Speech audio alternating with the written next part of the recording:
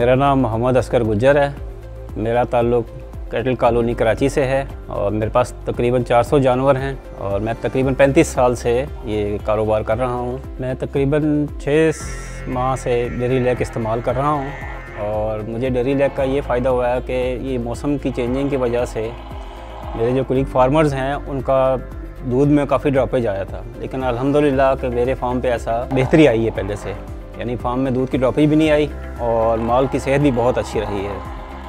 और daily lake का मैं शुक्रगुजार हूँ कि इन्होंने हमें एक अच्छी प्रोडक्ट से तारफ़ कराया हमारा और इनकी जो टेक्निकल टीम है डॉक्टर्स वगैरह जो हमारे फार्म पे आते रहते हैं और हमें गाहे बगाहे बहुत अच्छे और मुफीद मशरे देते हैं, और इनसे हमें बहुत ज़्यादा इस्ता होता है और हमारा माल भी अलहमदिल्ला बहुत अच्छा और सेहतमंद है।